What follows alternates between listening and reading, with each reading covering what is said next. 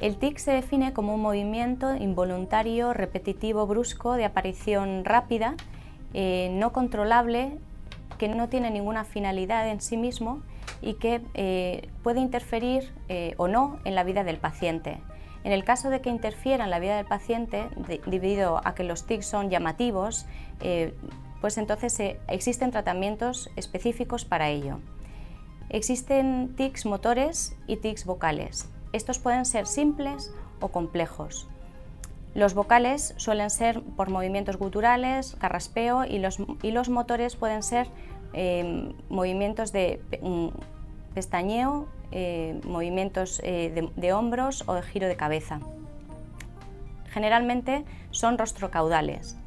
Existen tres tipos de trastornos, los transitorios que remiten espontáneamente y tienen una duración menor a un año y más de cuatro semanas, el trastorno de tics crónicos que dura más de un año y que puede ir asociado a una ansiedad añadida al trastorno y luego un trastorno que es menos frecuente que es el Gilles de la Tourette, que combina tics motores simples y complejos con tics vocales y que suelen aparecer a lo largo del tiempo progresivamente.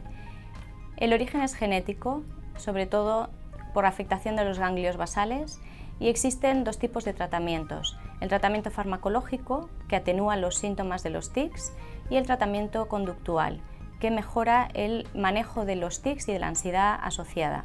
Cuando los tics van asociados a otros trastornos, como el trastorno obsesivo-compulsivo y el trastorno de déficit de atención y hiperactividad, hay que asociarle otros tratamientos para remitir los síntomas de ambos trastornos.